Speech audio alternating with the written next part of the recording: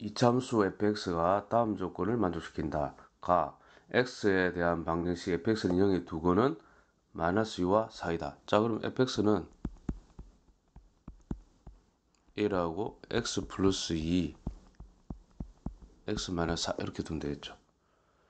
5 이상 8 이하에서 이참수 fx 최대값은 80이다. 자 근데 저 a가 일단은 2차 함수 얘는 0이 아니다만 알 수 있고 음수인지 양수인지 알 수 없잖아요. 첫 번째.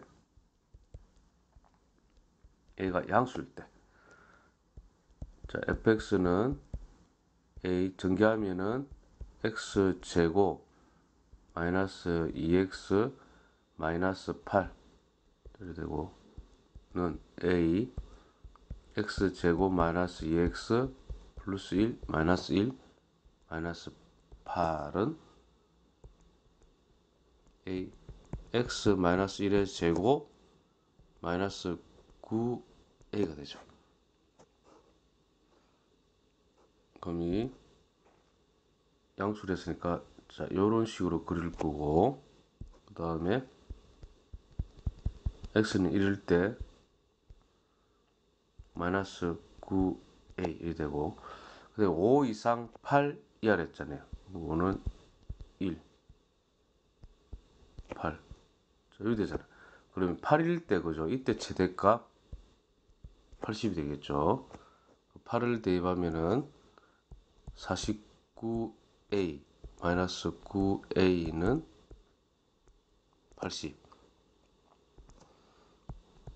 40a는 80. a는 2가 됩니다. a가 2가 되면 이게 적합하죠. a가 0보다 큰데. Fx는 2 x 마이너스 1제곱 마이너스 18이 되죠. 자, 그 f 마이너스 5를 구해냈잖아. 마이너스 5는 마이너스 5를 대입하면은 마이너스 6, 36. 그러면 72가 되죠. 마이너스 18은 4. 6에서 1 빼면 5, 54가 됩니다. 자, 두 번째 애가 0보다 작다. 그러면은 위로 볼록이 될 거고 예. x는 1일 때 마이너스 9에 1이 됩니다. 자, 요 5고 여기 8이죠. 그럼 요렇게 되죠.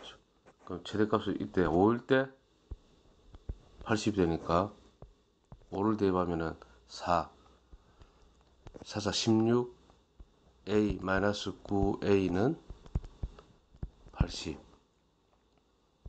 7a는 80 a는 7분의 80인데 애가 0보다 작다는데 모순이 발생하죠. 부적합. 그러므로 답은 54가 되겠습니다.